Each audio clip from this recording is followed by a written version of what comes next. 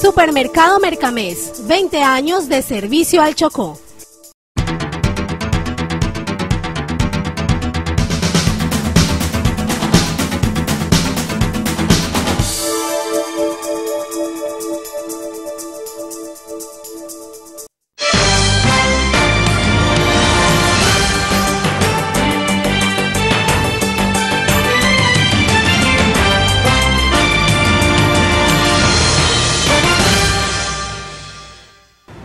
Es lunes 11 de mayo y saludamos a todos nuestros televidentes, los que nos siguen a través de nuestras redes sociales y nos ven en el canal de nuestra gente.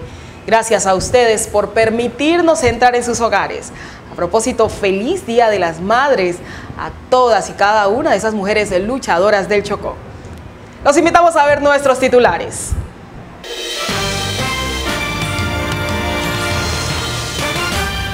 Más de 35 universidades públicas del país entrarían a paro en los próximos días si no obtienen respuesta del gobierno nacional. A pesar de las fumigaciones, la proliferación de mosquitos es alta. Comunidad de Plan de Raspadura recibe de la mano del batallón de ingenieros Julio Londoño Londoño un parque que beneficiará a cientos de niños. Poco a poco vendedores estacionarios han retornado a las plazas satélites, pero no dejan de quejarse pues no llegan compradores al lugar. Estas y otras informaciones en la presente emisión de CNC Noticias. CNC Noticias.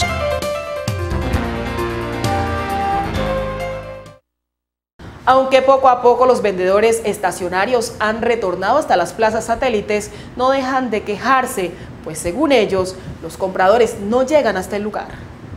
Como una cárcel disimulada calificaron los vendedores estacionarios que han ido retornando a la Alameda Reyes a las plazas satélites que creó la administración municipal, lo que ha provocado que cada día retomen más y más los sitios iniciales. Jorge Copete, vendedor estacionario de la Alameda Reyes, destacó el incumplimiento de la administración municipal a los acuerdos pactados Exactamente, sí, hemos retornado a la Media Reyes porque realmente la alcaldesa no, nos ha cumplido con lo que nos prometió y nosotros allá en esas plazas satélites realmente no estamos haciendo para nada. Es una injusticia lo que está haciendo la alcaldesa con nosotros, que no está prestando atención. Eh, a ver, yo le digo algo, amigo, ¿a usted le gustaría que, que llegara la hora del desayuno suyo, usted no tiene con qué desayunar, llegara la hora del almuerzo, no tiene con qué almorzar por motivo de sus ventas? Ese, nosotros, por ejemplo, nosotros eh, las plazas ya las bautizamos, ya tienen su nombre, llama una cárcel disimulada. Y esa cárcel la está poniendo la alcaldesa, no solamente para nosotros, sino para los hijos de nosotros. Eh, y la alcaldesa nosotros no ha solucionado nada, nosotros hemos buscado, le hemos invitado a ella que, que realmente dialogue con nosotros, hemos hecho promesa a ella y todo eso, pero ella no, o sea, ella no quiere arreglar con nosotros, nos quiere mandar para la casa o que estemos allá esperando a que Dios baje y de pronto nos ponga una libra de arroz porque allá en la plaza nosotros no la conseguimos, la verdad. Aldemar Rivas Asprillas apuntó que las deudas y las exiguas ventas en los plazas satélites les obliga a retomar la Alameda pese a la incomodidad. Entonces el pueblo en estos momentos nos critica que nosotros porque no hemos salido acá a la, acá la calle, donde hemos retomado el sitio donde estamos trabajando. La alcaldesa nos hizo una propuesta, unas promesas, este es el momento que no ha cumplido nada. Hoy en el periódico sale que ella no teníamos un pacto que nosotros no lo hemos cumplido. Eso es falso. Y yo le, y que, me, dé las pruebas y, me dé las la, muestras donde ella hizo un pacto con nosotros. Nosotros nos salimos de aquí de la, de la Alameda para el desarrollo de la ciudad. Queríamos que se pavimentara la la, 26 que realmente estaba muy, muy desagradable, que todo el, el pueblo sabía. En estos momentos el pueblo, como nos ve que nosotros estamos nuevamente retomando la Alameda, entonces eh, nos critican, nos, dicen que nos van a traer más, que nos amenazan que esto que el otro. Ah, de igual manera nosotros estamos dispuestos a lo que sea. Entonces nosotros lo que le pedimos a la alcaldesa es que se sienta a pensar que si ella como madre de familia y, líder que es de la ciudad y jefa de la ciudad, ella debe de tomar un rato de conciencia y darnos la cara por lo menos por lo menos, y por lo, darnos una oportunidad y también que, ella, ella se ponga en el zapato de nosotros también y que lo que nosotros estamos viviendo que lo ayude ella para que vea, porque ella dice que es luchadora y que realmente nos apoya a nosotros, a nosotros los de la clase, porque nosotros como no somos de cuello blanco, los de la clase social baja, y en estos momentos nos está, ella misma nos está prácticamente aprovechando de nosotros, porque como nosotros no tenemos, nos dice que si, que si queremos, nos vamos, que nos vamos para la plaza. ¿Qué vamos a hacer en la plaza si en la plaza no se vende nada? De allá todo el mundo, los que estábamos allá nos salimos porque nos quebramos. Nadie tenía un, peso para trabajar. Esos cotagoteros persiguiéndonos porque nosotros trabajamos con una plata prestada. Uno, los cotagoteros ya nos querían prestar más su plata porque nadie tenía cómo responderle. Entonces, por esa situación y circunstancia, nosotros nos hemos votado nuevamente a la Alameda. Y día tras día se están saliendo porque ella siempre ha sido promesa que esperen, que esperen, que esperen. Y hay algo tan, tan, tan desagradable que no espera, la barriga no espera. Uno todos los días come y usted sabe, como seres humanos sabemos que todos los días uno come y todos los días tienen que llevar comida, tiene que llevar para los recreos de los hijos, para los transportes y para todo. Y eso, dos mil o tres mil pesos que uno en la plaza, no le sirve a uno absolutamente para nada. Los vendedores de este sitio han responsabilizado a la comunidad por su escaso compromiso en abastecerse en estos sitios y poco acompañamiento de la administración municipal. Marisol Ibarwen señaló además que en las plazas satélites faltan muchos productos, lo que obliga a los compradores a utilizar la Alameda como alternativa viable. Entonces hay muchos compañeros que se han ido y dicen que para acá no regresan. ¿Por qué? Porque no se vende muy poco. Entonces nosotros lo que queremos es que el pueblo, así como nosotros colaboramos, voluntariamente nos salimos de la Alameda, el pueblo colabore también a comprar, porque si la gente no viene a comprar, obvio que nos tenemos que ir todos otra vez para la calle. ¿Qué tanto está perdiendo Marisol en, las ventas diarias? Yo en este momento no, no es que pierda mucho, porque a mí me toca sacar las cosas y las mando a vender a la calle en carreta. Entonces lo que yo me puedo ganar se lo pago a los pelados que yo los mando que vayan a la calle a venderme los productos. Por esa razón yo estoy todavía acá porque ahí no me hubiera tocado también salirme.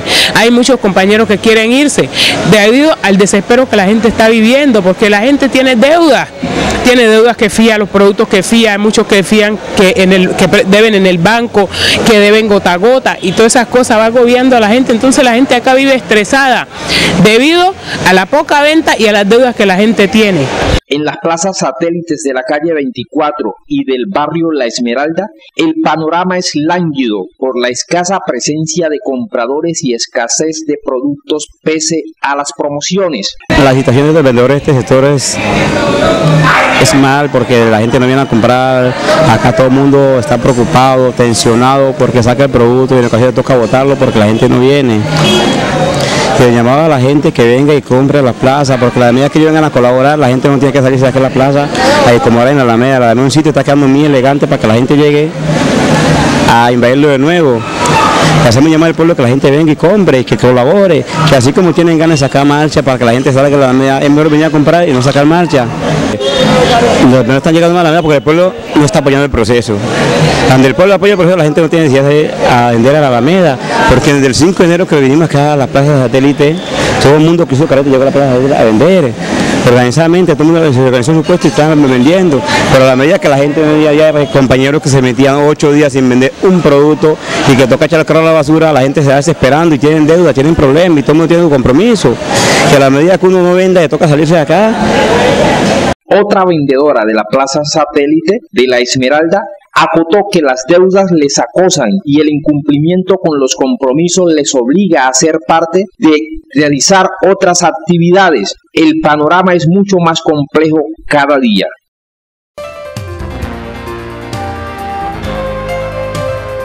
CNC Noticias A pesar de las fumigaciones en el departamento del Chocó, la proliferación de mosquitos es cada vez más alta. Según funcionarios públicos, si no se cambian los hábitos de higiene, este esfuerzo de la fumigación resulta ser en vano.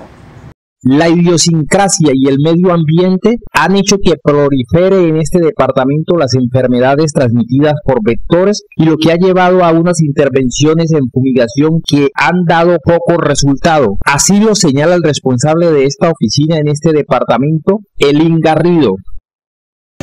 Las enfermedades transmitidas por vectores en el departamento, especialmente el paludismo, es una posición que se ha convertido en endémica por los caracterización por el medio ambiente y por la idiosincrasia de la población. Tenemos todos los determinantes en el departamento del Chocó como para que prolifere este tipo de enfermedad. Ha sido una pelea, ha sido una actividad de muchos años en la cual se ha hecho mucha intervención, pero han sido unas intervenciones focalizadas a las, a las crisis, a las contingencias y que han consistido especialmente en hacer fumigaciones las cuales son poco costo efectivas y a través del tiempo se ha demostrado que no son tan efectivas ni son sostenibles en el tiempo.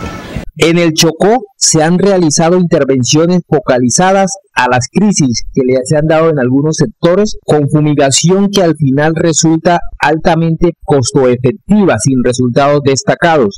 En este momento estamos desarrollando la EGI. La EGI es una estrategia de gestión integrada en la cual va a ser una actividad intersectorial y también va a ser interinstitucional. ¿Qué queremos decir con eso?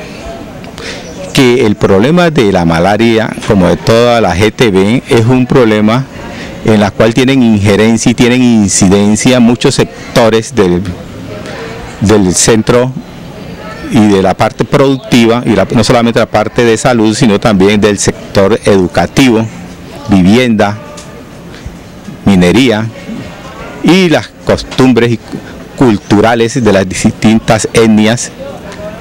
Por lo tanto, va a ser un esfuerzo que va a ser coordinado, articulado, la administración departamental con las administraciones municipales, la comunidad, con Codechocó, con el, con el Minas y Energía y por último con todas las personas que de alguna manera tengan alguna incidencia en la transmisión de este tipo de enfermedades. Todo lo anterior obliga a cambiar las políticas de acuerdo a las determinaciones del Ministerio y en la que se verán involucradas muchas entidades y la comunidad para poder resolver este flagelo. CNC Noticias